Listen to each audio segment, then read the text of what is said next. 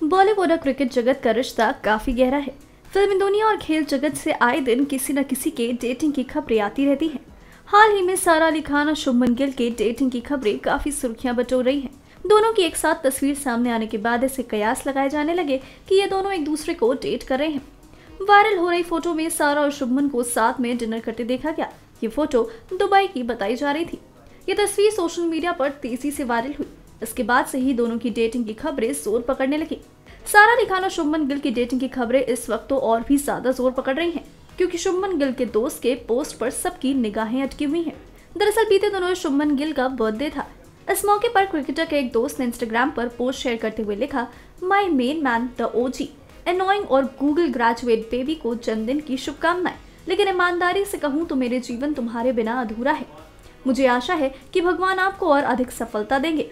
Google ज्ञान और बहुत सारा प्यार, शुभमन गिल। शुभमन गिल के दोस्त ने जिस तरह से सारा शब्द अपनी पोस्ट में लिखा है, उससे फैंस का तो यही मानना है कि यहाँ पर एक्ट्रेस सारा अली खान की बात हो रही है। शुभमन गिल के दोस्त का ये पोस्ट सोशल मीडिया पर तेज़ी से वायरल हो रहा है। इस पोस्ट से अब शुभमन और सारा के लव अफेयर की अफवाहें और भी तेज़ी से होने लगी हैं और माना जा रहा है कि शुभमन के दोस्त ने दोनों के रिश्ते पर मुहर लगा दी है।